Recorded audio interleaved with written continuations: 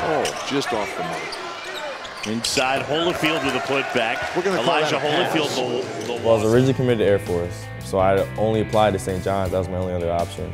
Danny Ferry actually was a administrator at my school, my high school, um, and I had a good relationship with him.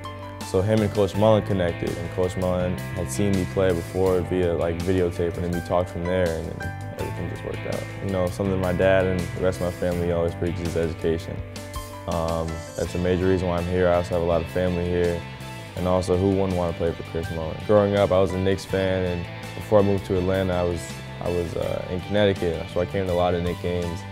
And growing up watching all my favorite players play in the Garden, and now actually playing there is, is surreal.